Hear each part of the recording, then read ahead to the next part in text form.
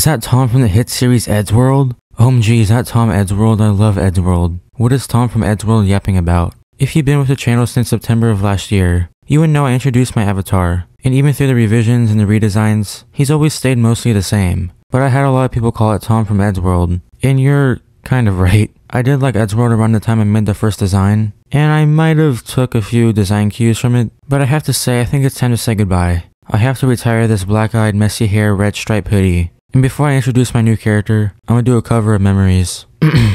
Here's the one.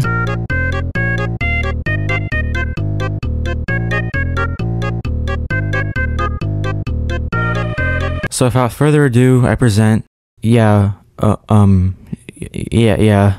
Also, channel announcement, I have memberships now, lowest being 199 and all the perks are on screen right now. If you want to support the channel, this is the best way to do it. And of course, subscribing would be nice. So, uh, that, that's it. Subscribe.